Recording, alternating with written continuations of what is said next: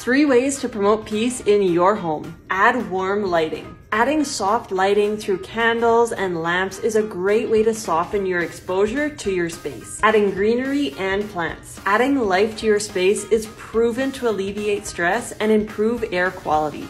Even using faux plants is known to bring positive energy to your home. Declutter. Take time to declutter one area of your home each day, purge once a month, and implement a new organizational system once a year. Implementing daily, monthly, and yearly methods to combat clutter in your home is a great way to alleviate the stress caused by problem areas. Like and follow for more.